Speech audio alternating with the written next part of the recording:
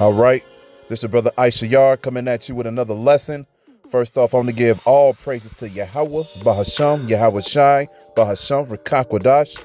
Double honors to the apostles of the great millstone, which I learned is true from. Honors to the elders and brothers out there pushing this word through the four corners of the earth within truth and sincerity. And shalom to the aqua that's listening and learning. Uh, today, I want to get into a topic, and I'm going to entitle it, This Truth Should Be on Repeat.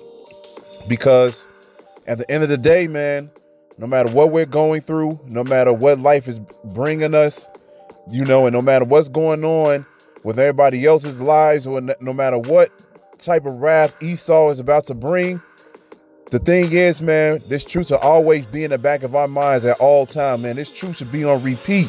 It should be like a broken record, man. You know, you should always have scriptures come to mind when it comes to whatever situation.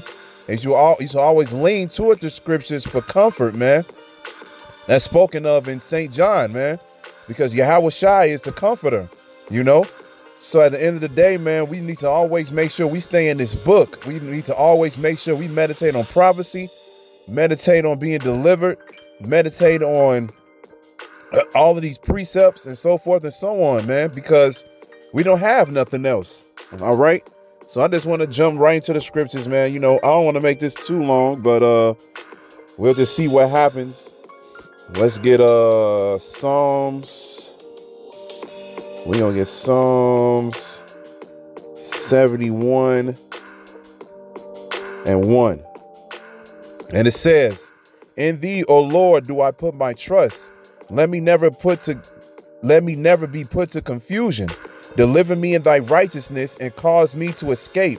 Incline thy ear unto me and save me. Be thou my strong habitation, whereunto I may continually resort. Thou hast given commandment to save me, for thou art my rock and my fortress. Con, man. It says in verse 3 Be thou my strong habitation, whereunto I may continually resort. So what, what does it what does it mean to con, to continually do something? It means to keep moving forward no matter what, man. You know, just like we got to go to work, man. You got to go to you got to go make your money, man. You got to continually work in order to get that paycheck.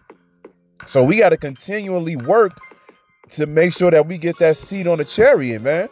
We got to continually be in this book, man. You know, the scriptures tell you to make sure that your sword is sharp.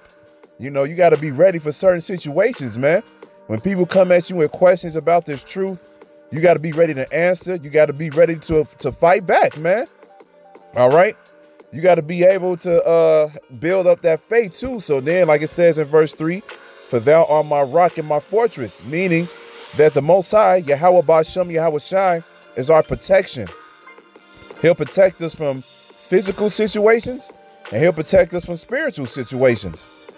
You know, if you pray to him to remove demons from you, to remove you from evil ways, you know, to re, uh, help you uh, maneuver through Babylon the Great, which is hell, you know, Lord willing, Yahweh Ratazah, he'll uh he'll guide you, man.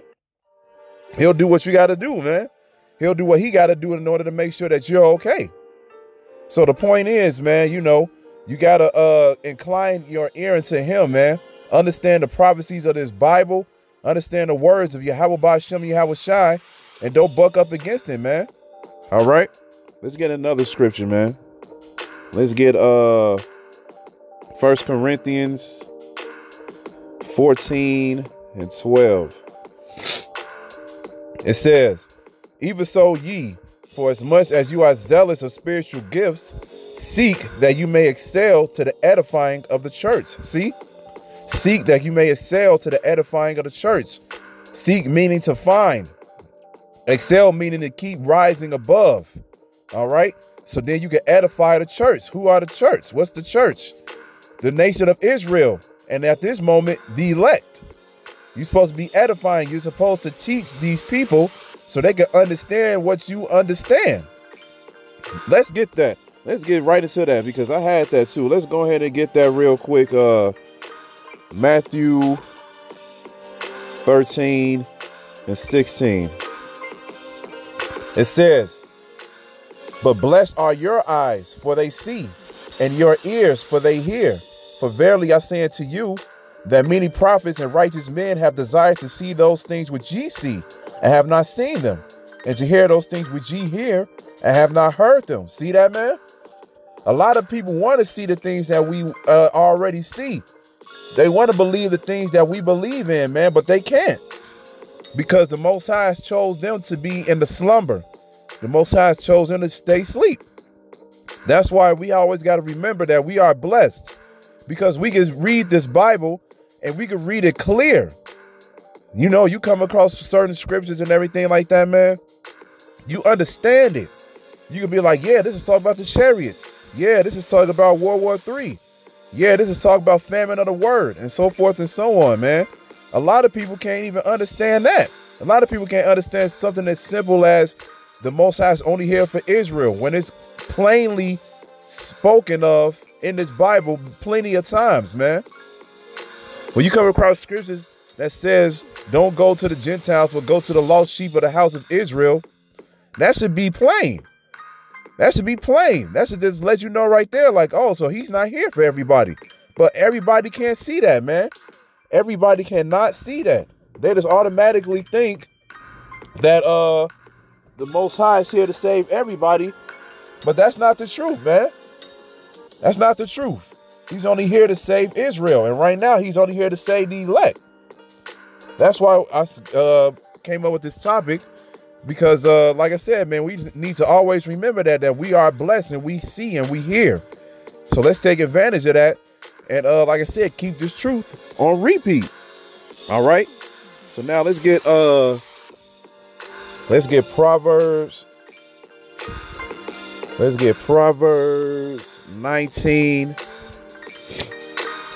and 23 and we're gonna read down to 24 it says the fear of the lord tendeth to life and he that hath it shall abide satisfied. He shall not be visited with evil. A slothful man hideth his hand in his bosom, and will not so much as bring it to his mouth again. See that, man? He won't bring it to his mouth again. A slothful man hideth his hand in his bosom. Pretty much saying somebody who uh understand his truth, but they don't stay on fire for this truth. They become slothful. They become slow. They become lazy. They get they get to the point where they put their hands in their pockets, man. They walk down the street with their hands in their pockets and their heads down. Because why? Because they're ashamed. Because they know that they should be doing more. They know that they should be seeking the Most High 10 times more, as it is written. But certain men out here, man, they can't do it. They get to the point where they just like, man, you know, I, I got my regular life. I got my woman. I got my children. I got my job. Whatever the case may be. And they just be like, man, I don't I just don't have time for the most high. How you don't have time for the most high? He the one that created you. He the one that called you. If he called you to this truth, man, take advantage. It's like I said, like, like we just read in Matthew, many people desire to see what we see, but they can't, man. So take advantage of your blessing, man. Take advantage of your spiritual gift. Make sure that this truth stays planted in your mind at all times, man let the record keep on playing. All right. Let's get Ecclesiastes. Uh, let's get Ecclesiastes 12 and 1. And we're going to read down to verse 2. It says, Remember now thou create thy creator in the days of thy youth, while the evil days come not, nor the years draw nigh, when thou shalt say, I have no pleasure in them, while the sun or the light or the moon or the stars be not darkened, nor the clouds return after the rain. See that, man? Pretty much saying, remember the Most High in the days of thy youth when the evil days come not. So we supposed to remember our power, man. We supposed to remember the ways of Yahweh Bashem, Yahweh Shai before this place gets destroyed. Because we know that evil days are coming. We know that evil days are coming to the point where all of us are going to have to go through the hour of temptation. But the thing is, man, we want to make sure that Most High put the Spirit upon us to pass that hour of temptation. We don't want to get into that hour of temptation and fail, man. We want to be part of the elect, man. If we out here doing the work, that's showing our faith. That's showing our faith, letting us know, like, hey, we got to make sure we do what we supposed to do so we can receive that spiritual power. We can receive that spot on the chariot. We can be the first fruits of the kingdom of heaven. Like I said, man, a lot of people don't understand that. They don't take that seriously. That's just because they don't want to as well, man. You know, a lot of people don't even want anything to do with the Bible. You read one verse, man, they be like, oh, they look at it as if you're going to school or something, as you're going to work. They look at it as something that's not fun. And the Bible is not supposed to be fun. Yeah, we joke, you know, with certain things and everything like that. But at the end of the day, man, this is a serious matter. This is something that you need to take uh, with precaution and you need to take seriously at all times, man, because if you don't, the Most High is going to understand your heart. He already does, but he's going to see your actions and he's going to blot you out, man. Your name's not going to be written in the book of life.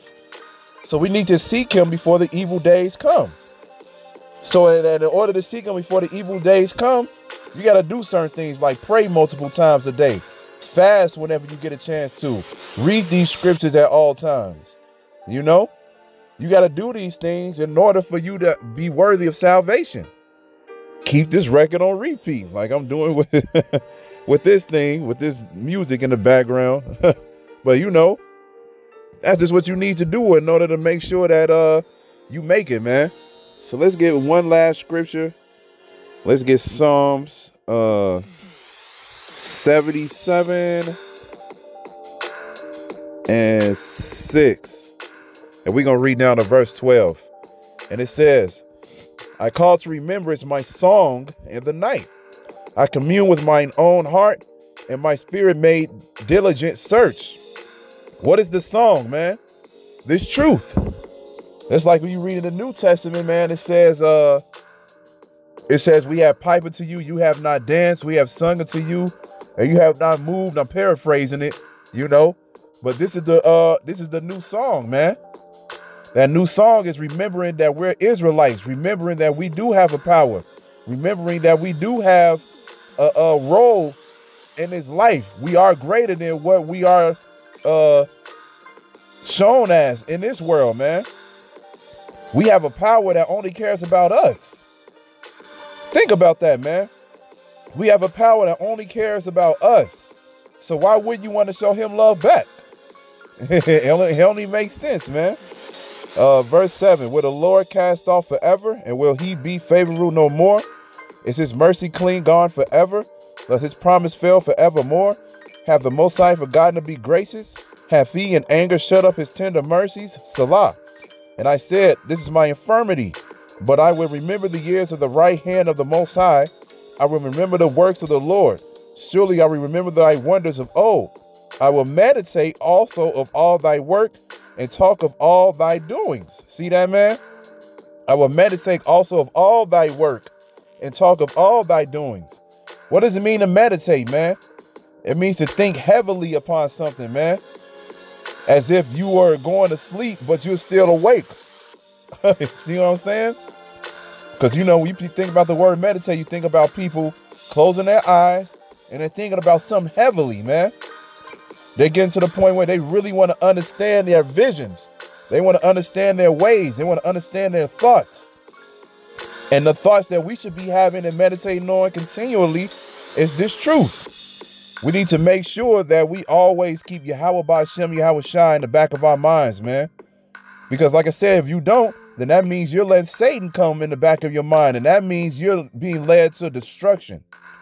We don't want to be led into destruction. We want to be led into salvation. Like the brother Yawan said from uh, Myrtle Beach, he was like, man, there's going to be brothers out here that's never going to taste of death. Think about that, man. Some of us right now are going to be living and we're going to continue to live because as soon as we get into the hour of temptation, he could have the angels deliver us from martial law or he could put the, the spiritual power upon us, man. And then we're going to get beamed up on the chariot. And we're never going to die, man. That's a gift. That's a gift, man. So, like it says in verse 10, in verse 10, and it says, and I and I said, This is my infirmity. Infirmity meaning these are my trials and tribulations. This is my weaknesses. You you fight through your weaknesses so you can make it to the end, man. You don't look at the things of this world and be like, man, you know, the things of this world are too strong for me, so I'm just gonna let go. No, man, you don't do that. you make sure you fight, man. This is a spiritual battle. You fight and you do what you're supposed to do at all times, man. All right. We are never supposed to give up. Like it says in verse 6, man, I call to remembrance my song in the night.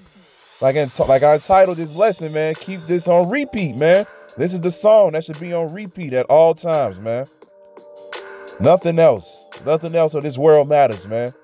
Always meditate within these scriptures, man. All right. So I'm gonna end it right there, man. So with that, I'm gonna say, call halal Yahweh, Bahasham Yahweh Shai, Bahasham Rakak Wadash. Double honors to the apostles of the great millstone, which I learned is true from. Honors to the elders and brothers out there pushing this word to the four corners of the earth within truth and sincerity. And shalom to the Akwat that's listening and learning. And Yahweh Ratazah, I'll be back with another lesson. Keep pushing, Yasharahla. Keep pushing. We almost out of here. Shalom.